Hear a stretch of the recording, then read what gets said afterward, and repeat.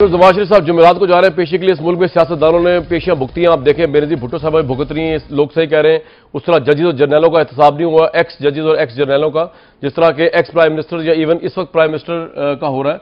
ये आप देख सकते हैं बेनजीर भुट्टो साहबा कोर्ट के अंदर काफ़ी बेताशा केस उन्हें भुगतने पड़े कुछ करप्शन के थे कुछ नवाज़ शरीफ साहब ने बनाए हुए थे कुछ उनके भाई के मर्डर केस भी था अभी अपना बयान रिकॉर्ड करा रही है कोर्ट के अंदर एक्सक्लूसिव फुटेज आपको दिखा रहे हैं हम पहली मरतबा ये आप देखिएगा जो उनका बयान रिकॉर्ड होगा कोर्ट के सामने.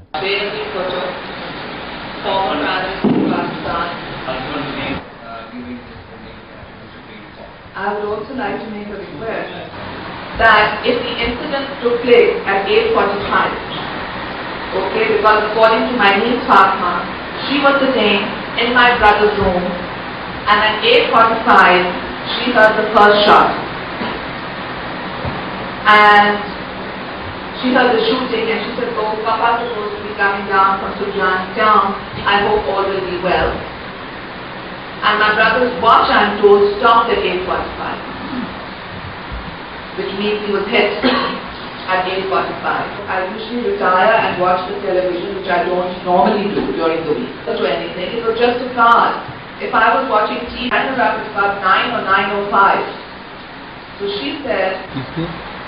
so I feel that there was a moving hand, a moving shadow that had organized all this. And that person had rung up Najib Zafar and Subuk Majid and 70 Clifton and the press people. So the press people were all there at 9 p.m.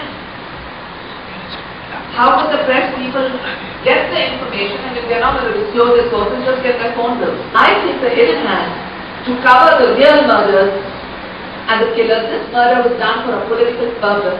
The purpose was to kill a Bhutto, to get a Bhutto, to overthrow Benazir Bhutto's government and finish the Pakistan People's Party.